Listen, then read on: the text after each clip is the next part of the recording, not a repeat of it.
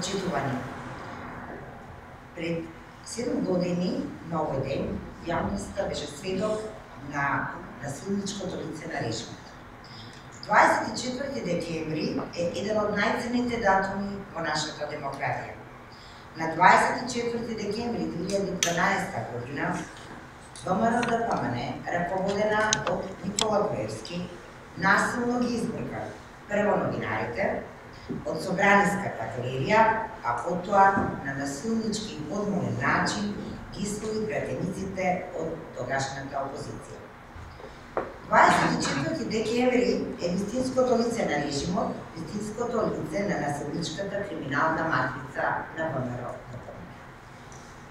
Таквата матрица кулминираше на 27 април со крвавиот четврток и насилничкиот упад во собранието кога беше извршен обид за убиство на пратеници, новинари и вработени во собранието. Денес ништо не е променето во ВМРО ДПМН, партијата се уште е раководена од Будимпеште и осудениот криминалец во бегство Никола Груевски, а Христијан Мисковски е само негов портпарол. Денес ВМРО ДПМН продолжува да работи против интересите на граѓаните и државата Со секој нов ден, деструктивното однесување на ВМРО ДПМН станува се поизразено. ВМРО ДПМН беше против Закона за јавното обвинителство, против Закона за јавна обвинителска служба, предходно беа против можностите да се преземат закони, законите и предметите од СЈ. Пратениците на ВМРО ДПМН, начело со Ѓорчев, Во поча донесувањето на законските измени за зголемување на пензиите за повеќе од 700 динари месечно за над 320.000 пензионери. Бе и против покачувањето на минималната плата и решавањето на статусот на дополнителен број стечајци.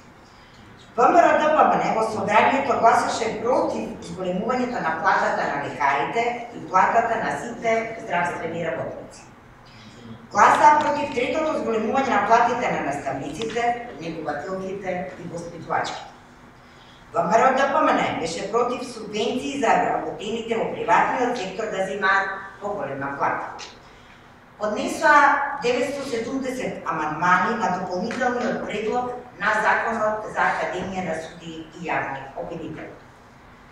Ја почна демократијата, Видовте што направија со амандманите само да да спречат една изборна единица и отворени листи. Не го подржуваат ниту законот за одбрана, една од нашите обрски во однос на наточенството и усогласувањето со НАТО стандардите. Видовме дека се против законот за висока раководна служба. ВМРО ДПМН е против деполитизација и професионализација во јавниот сектор ВМРО ДПМН и Христијан Мицковски почнат да блокираат се што значи враќање пари кај граѓаните, се што значи напредок и развој. Тие блокираат се што не е по планот на Греција.